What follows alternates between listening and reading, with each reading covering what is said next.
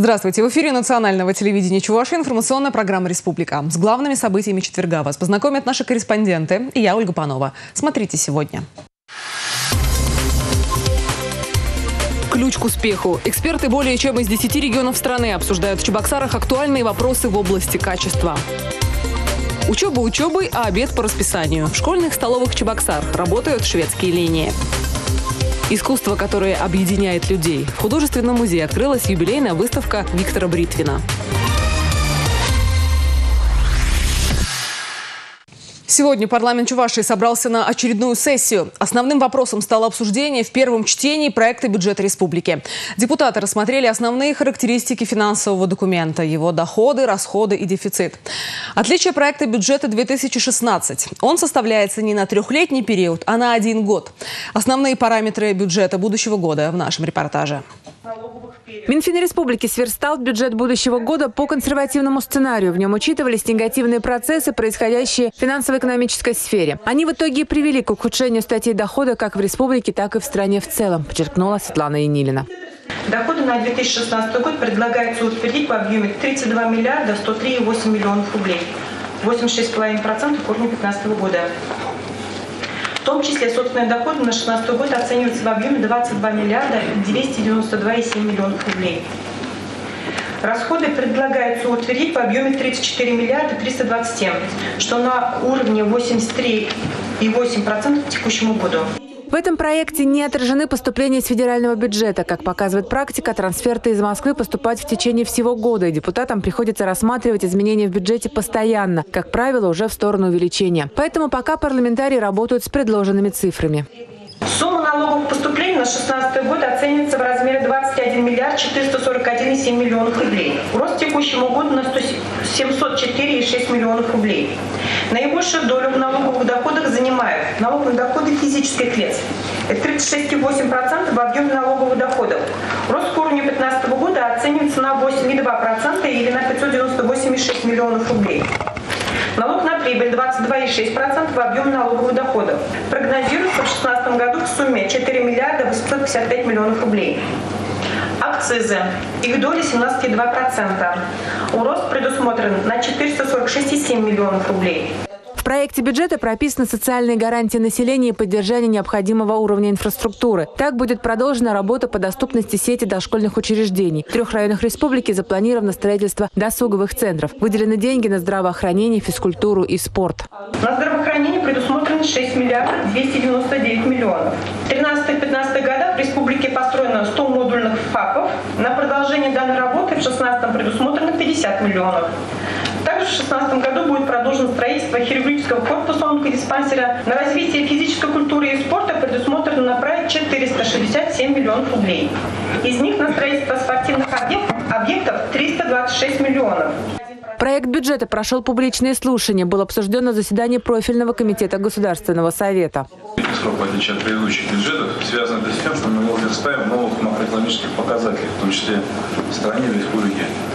А, по-прежнему наиболее большая доля расходов, порядка 70% она направлена на социальные программы, на здравоохранение, на образование и на социальную политику. С учетом того, что на заседании комитета это был рассмотрен сразу после публичных слушаний 17 ноября, комитет рекомендует данный проект бюджета принять в первом чтении. Традиционно оппозиционные фракции выступили с критикой проекта бюджета. Не отражены прогнозы инвестиций в республику. Нет цифр по поступлению средств из федерального центра. Депутат Государственной Думы Анатолий Аксаков отметил, что в Москве идет серьезная работа по выделению трансфертов для регионов. Плотно работаем с правительством, с председателем правительства. Я являюсь членом трехсторонней комиссии, которая распределяет в том числе межбюджетные э, ассигнования, трансферты, ну и Хотел бы отчитаться, что на последнем заседании представления комиссии согласованных действиях с правительством Чувашии нам удалось добиться выделения 571 миллиарда рублей на повышение бюджетной обеспеченности республики и 600 миллионов, миллионов, извините, там на федеральном уровне миллиардами ворочаем, да, 571 миллион рублей на повышение бюджетной обеспеченности и 633 миллиарда, ну, миллиона, извините, на, э, в качестве бюджетного трансфера. То есть это тоже деньги, которые помогут правительству в конце года многие проблемы порешать. В том числе я надеюсь, что направить деньги на инвестиционные цели. После двухчасового обсуждения проект бюджета на 2016 год был принят в первом чтении. Татьяна Молокова, Олег Якимов, Республика. Чебоксарах начал свою работу межрегиональный форум «Стратегия и практика успешного бизнеса». Он проводится уже в 11 раз. Эксперты более чем из 10 регионов страны приехали в республику, чтобы обсудить актуальные вопросы в области качества. Подробности в следующем материале. Те, кто не задумывается о качестве сейчас, в ближайшем будущем потерпят убытки. Эксперты отмечают, что после введенного эмбарго на иностранные продукты у российских предприятий появился шанс завоевать новые рынки. Причем последнее время вырос экспорт в азиатские страны. К примеру, в Китае особым спросом начали пользоваться российские конфеты и строительные материалы. Поставки в Европу снижаются, но не так стремительно. Те компании, которые раньше работали с Европой, они как работали, так и продолжают. Определенные сложности возникли с поиском новых заказчиков, когда компании раньше не работали в Европе, пытаются туда выйти. Иногда возникают такие ситуации, что европейские партнеры, скажем, говорят, что давайте мы лучше возьмем паузу, вот пока сейчас немножко подождем по политическим соображениям, когда вот, э, скажем, разрешится вопрос с санкциями или отношения с Россией снова нормализуются. Кризис, который в отношениях возник на политическом уровне, он не для малого и среднего бизнеса, он не послужил серьезным препятствием. Но чтобы начать штурмовать зарубежные рынки, предприятиям необходимо обзавестись международным сертификатом. Руководители компаний это прекрасно понимают. Только в Чувашии такой документ появился более чем у 200 организаций. По данным Стата по итогам 2014 года э, по уровню инновационной активности наш регион занимает второе место в Российской Федерации и э, первое в Приволжском федеральном округе. Это высокие показатели, не случайно по итогам 2014 года удельный вес отгруженной продукции продукции инновационного характера, э, предприятий малого и среднего бизнеса по отношению 2010 года в республике вырос более чем в два раза. И сегодня порядка 14% э, продукции малого и среднего бизнеса носит инновационный характер. Как преодолеть проблемы сертификации товаров, улучшить инвестиционную привлекательность и не допустить на российские рынки контрафакт? Эти вопросы обсуждали участники форума «Стратегия и практика успешного бизнеса». Президент Российской организации качества Геннадий Воронин отметил, достичь высоких показателей предприятие сможет, только если в этом будут заинтересованы все ее работники. Надо брать опыт у стран, у бывшего Советского Союза. Не может руководить отраслью человек, который в отрасли никогда не работал. Если школа есть, я уверен, что-то произойдет. Если школы нет, то ничего не произойдет.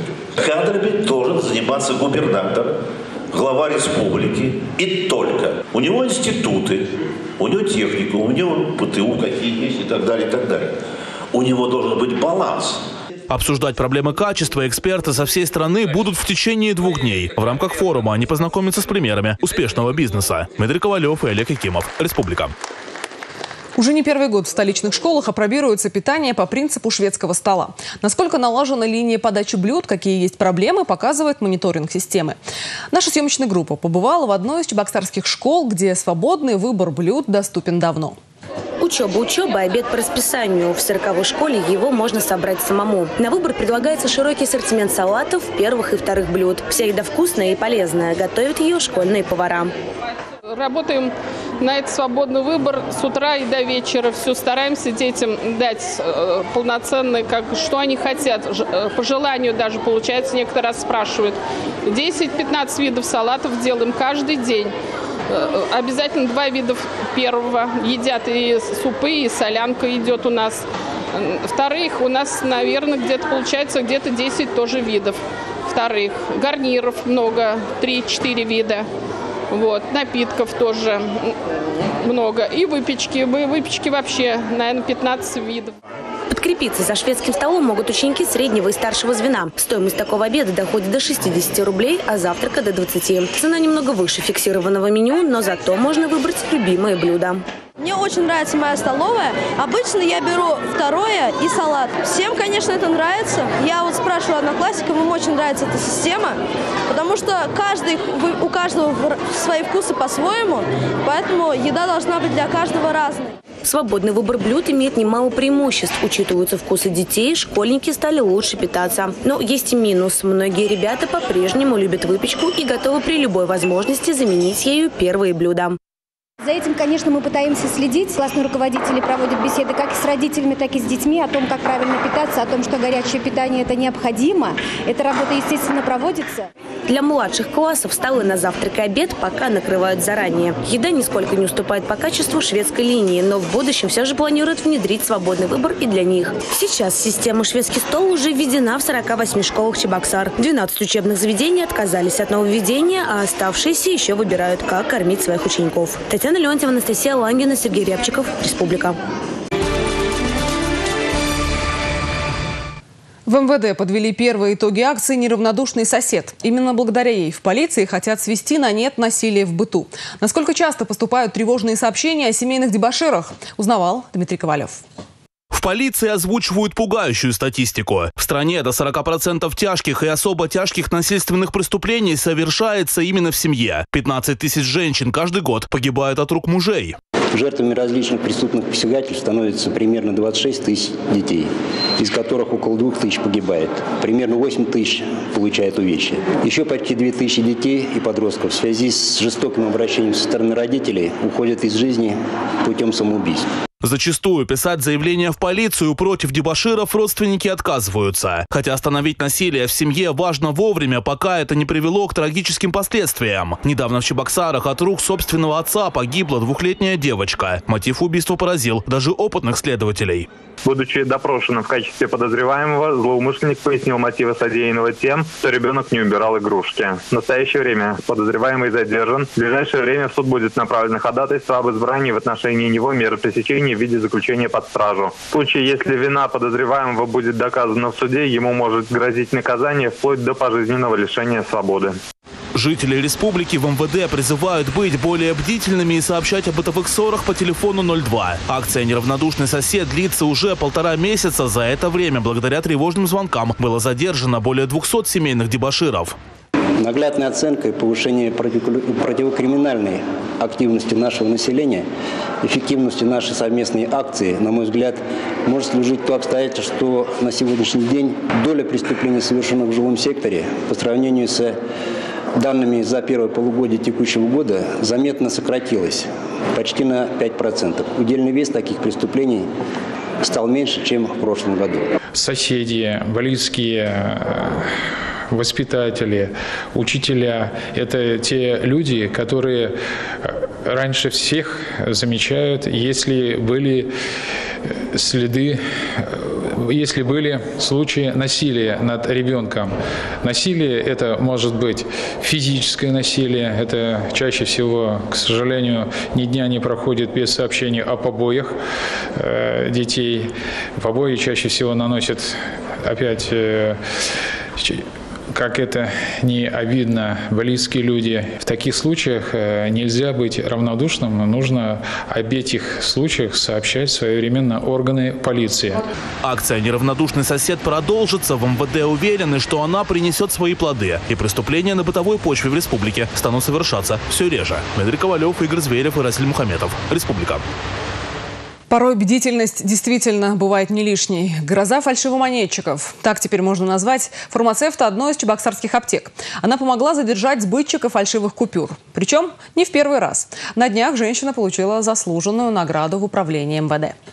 Детектор, лупа, а еще бдительность и опыт – все, что потребовалось для задержания фальшивомонетчика. Злоумышленник выбрал в аптеке недорогой товар, расплатился пятитысячной купюрой. Фармацевт купюру приняла, изучила и вызвала охрану. Мужчина заподозрил неладное, сдачу ждать не стал и скрылся. Однако на его след уже вышли правоохранительные органы. Выяснилось, что фальшивомонетчики гастролировали по стране. Сбыть поддельные купюры удалось в пяти регионах. Задержали предполагаемых преступников уже в Новосибирске обыске. При обыске у них обнаружили сотню фальшивых купюр номиналом в 5000 рублей. Сейчас дело передают в суд.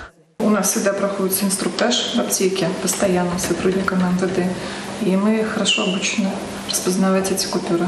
Все делаю согласно инструкции. Угу. Ничего геройского своего по своей поступке не вижу. Кстати, Татьяне Никифоровой раньше пытались сбыть подделки. Нарушители уже отбывают наказание. Каждый год в последнее воскресенье ноября миллионам женщин по всей стране дарят цветы и подарки, говорят теплые слова, устраивают сюрпризы. Оказанные знаки внимания не зависят от их профессии, внешности, ума, умения водить машину или вкусно варить борщ. В этот день поздравляют матерей. В Чебоксарах уже начали отмечать самый теплый и добрый праздник. Сегодня во Дворце детского и юношеского творчества поздравили мам столицы республики.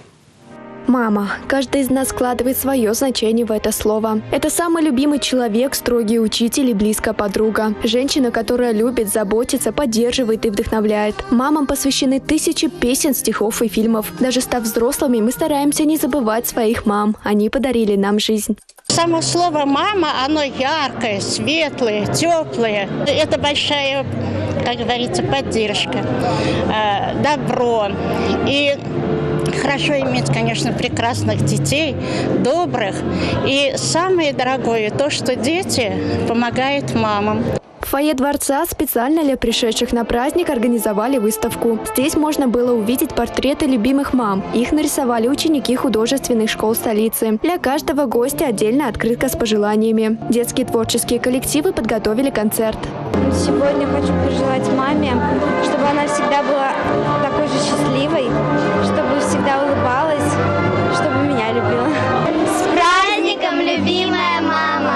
О поддержке материнства и детства говорила председатель Женсовета Чебоксар Ирина Клементьева. Многодетные семьи, родители, имеющих детей с ограниченными возможностями здоровья, семьи, взявшие на попечение чужих детей, государство старается помочь всем. Финансирование социальных программ всегда в приоритете правительства республики. Екатерина Куприна, Расиль Мухаметов, Республика. В эти минуты в Театре оперы и балета в рамках 25-го Международного оперного фестиваля имени Михайлова проходит концерт «Четыре короля оперной сцены». На сцене театра звучат лучшие мужские оперные голоса России. Василий Хорошев, Георг Инарис, Владимир Целебровский и Олег Бударацкий. В субботу, 28 ноября, состоится опера Моцарта. Так поступают все, а в воскресенье любителей оперного искусства ждет гала-концерт. Мне кажется, искусство призвано объединять людей, раскрывать человека человеку. Эти слова принадлежат Виктору Бритвину, талантливому педагогу и художнику-графику, оформившему более полутора сотен книг. Сегодня в художественном музее открылась его юбилейная выставка, приуроченная к 60-летию автора. С экспозицией познакомились и наши корреспонденты. Виктор Глебович Бритвин – российский художник-графист, в широких кругах известный как талантливый иллюстратор. Он оформил около 150 книг самой разнообразной тематики, как в зарубежных, так и в местных издательствах. Только за последние 10 лет Виктор Бритвин выполнил рисунки для 60 книг, среди которых выдающиеся по сложности и качеству иллюстрации к Одиссее Гомера, Лето Господне Ивана Шмелева, повестям Николая Лескова и Михаила Булгакова. Без внимания художника не остается и национальное чувашское искусство. Из-под его кисти вышла масса прекрасных иллюстраций как чувашских авторов, так и мировой классики. А вот э, «Господин аптекарь», то есть последнее его издание, которое он сам сделал, это, это в общем-то, на уровне лучших образцов э, мирового э, иллюстративного искусства. В рамках юбилейной выставки будут показаны живописные картины и станковая графика последних лет. Вниманию зрителей присанут работы «Ярмарка», «Экклезиаст», «Что было, то и будет», «Странник», «Послушание». Коллеги по художественному ремеслу отмечают, что главная ценность произведений Виктора Бритвина в том, что художник умеет раскрывать образы, сопереживать им. Он проникает в суть изображаемого, понимает самые тонкие знаки и символы природы. И даже в статичных пейзажах живописец способен увидеть историю. Он использует акварель, он использует темперу, акрил, э, использует самые разные техники и самые разные художественные приемы, которые накопила э, живопись за всю историю своего развития. Э, и каждое его произведение – это своего рода диалог с находками эм, предыдущих мастеров, с предыдущими картинами. Сейчас работы мастера находятся в коллекциях Чувашского государственного художественного музея и частных коллекциях в России, США, странах Европы и Африки. А у жителей Чувашии есть возможность познакомиться с произведениями Виктора Бритвина в стенах художественного музея. Мария Леончик, Игорь Зверев, Республика. Компания Ростелеком презентовала два новых интересных проекта. Портал games.rt.ru готов собрать у себя на платформе тысячи геймеров и предложить им разнообразные игры. А интерактивное телевидение 2.0 позволяет смотреть любимые каналы в любой точке, где есть интернет. На днях оба продукта представили журналистам и блогерам. Репортаж об этом смотрите далее. Я с вами прощаюсь и до встречи в эфире национального телевидения Чувашии. Портал gamesrt.ru ориентирован на широкий круг любителей игр. В каталоге есть разнообразный контент от ведущих разработчиков и издателей. При этом список постоянно обновляется. Портал также адаптирован под мобильные устройства. Собственное приложение под Windows позволяет отслеживать новости, запускать игры и приобретать контент, даже не заходя в браузер. Это вообще стратегия компании Ростелеком оказывать для наших абонентов максимальное количество услуг и дополнительных сервисов. То есть мы крупная компания, и мы э, понимаем, что э, люди работают, люди отдыхают, и люди хотят играть. И поэтому, соответственно, э, сделали подобный портал. Запуск портала стал отправной точкой в развитии игрового направления Ростелекома, которое, кстати, в перспективе будет направлено и на разработку геймерского контента для использования абонентами интерактивного ТВ. Интерактивное ТВ – это еще один продукт, который не первый год радует пользователей. И сегодня на рынке появилось коробочное решение продукта – интерактивное телевидение 2.0. А в чем принципиальное отличие от интерактивного телевидения 1.0? Данная приставка работает на любых сетях, любых провайдеров, соответственно, для того, чтобы канале вещались в обычном качестве, необходима полоса пропускания 3 мегабита, для HD-каналов полоса, полоса пропускания 6 мегабит. Приставку можно перевозить с собой по всей России. Контент автоматически подстроится под смену часового пояса. С помощью функции управления просмотром не обязательно подстраиваться под сетку вещания. Можно воспользоваться отложенным просмотром, записывать программы, ставить на паузу, использовать приставку как флеш-накопитель. Также доступны сервисы караоке, родительский контроль, мультискрин. Для того, чтобы он работал, нужен просто интернет. Любой. Он может быть с мобильника. То есть, допустим, мы тестировали, я беру мобильный телефон, ставлю раздачу интернет, он подключается, и видит эту Wi-Fi сеть. Мы пробовали, соответственно, с права, ну, если Ethernet кабель он ищет, соответственно, сразу же а, поток, подключается, никаких проблем. Единственное, что для того, чтобы а, а, вы не сможете сразу Ethernet-провайдера воткнуть в приставку, необходим роутер, потому что то есть, ну, приставка не, не, является собой, не является маршрутизатором. Интерактивное ТВ 2.0 уже появилась в офисах продаж компаний в Чувашии. И до 31 декабря этого года приставку можно купить по специальной новогодней цене – 1990 рублей. Самое время приобретать подарки для всей семьи.